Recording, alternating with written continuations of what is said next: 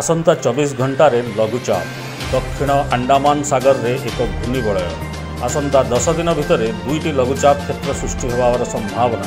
November ଅଠର ପର୍ଯ୍ୟନ୍ତ ରାଜ୍ୟର ବିଭିନ୍ନ ସ୍ଥାନରେ ବର୍ଷା ହେବାର ସମ୍ଭାବନା। ଦିନରେ କୋହଳ ପାଗ ସାଙ୍ଗକୁ ତାପମାତ୍ରା ତିରିଶ ଡିଗ୍ରୀ ତଳେ ରହିବ। ଖସୁଛି ତାପମାତ୍ରା ବଢ଼ୁଛି ଶୀତ।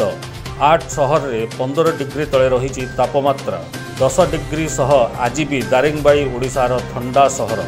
Bureau Report N9 Times. Please like, share and subscribe to our channel and your comments are valuable as well.